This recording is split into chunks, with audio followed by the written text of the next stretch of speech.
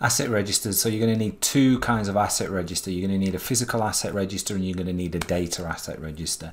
The data asset register you can get from your GDPR implementation when you're mapping out your data flows, uh, and I rely um, on the creation of the ROPA record of processing activities and the data asset registers that are coming out of that. If not, then you can ask and we can provide, I would provide a data asset register anyway, but I'm not including it um, within the scope of these videos. What we're touching on here is the physical asset register.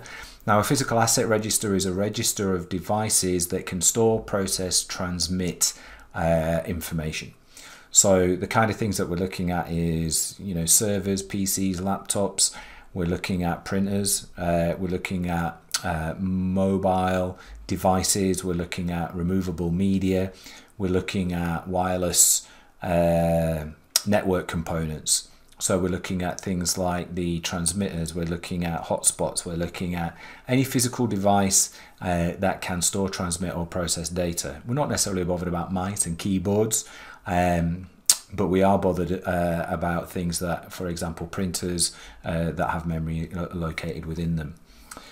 You can get asset registers in this modern day and age from a number of different locations, and maybe through things like your Active Directory or your online implementation will have that built in. So this is just as a stopgap that if you don't have something already that can generate that asset register for you, then here is one way of recording it. I am not saying duplicate the information that you have uh, and store it in here. What I'm saying is that this will provide you with a solution if there is no other solution available to you. Uh, your document is going to come with document markup as always, and then you've got an asset register with a number of uh, columns within it. The kind of things that we're interested in, and these can change, but driven by the standard itself, you're going to see that we're going to want things like an asset number. We're going to want the asset serial number. We're going to assign assets to owners. Again, the standard for 27001 says assets are assigned to owners. We're going to want to know the status of that, of whether or not it's been decommissioned, whether it's active, whether it's been deployed.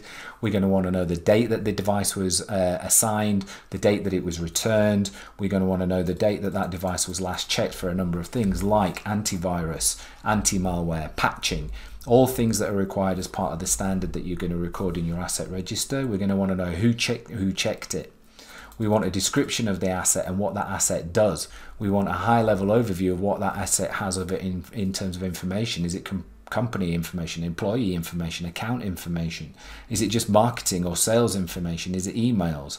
What is the the data that is held upon that device and then how important is that device to you? So if you've got a primary domain controller and you've only got one of them then it's going to be high. You know if you've got a marketing laptop that's only ever used for sales presentations and only has that presentation on it then it's going to be low. So you, there is guidance but you want to understand how important that device is to you. You're going to classify that device as whether or not it's confidential, internal, or, or public. So that is based on the data that the device either stores, processes, or transmits. And you always take the highest classification that exists within the within that device. So even if there is only one piece of confidential information then the entire device is classed as confidential. So you want to be making sure that the way that the data is processed and transmitted is managed in such a way that you minimize the amount of confidential data that is out there then you want the location of the asset and physically where is it, and then any notes that go along with that. So the primary focus of this document is that you can articulate that you know what you have and therefore you can control what you know. You cannot control what you do not know. And you can build this up with additional controls. There may be additional things that you do, but as a baseline, these are things that I see time and time again. Assets are allocated to people when, where are they, what do they do, what data is on them, when were they last checked, who checked it, is your antivirus up to date, and is your patching up to date.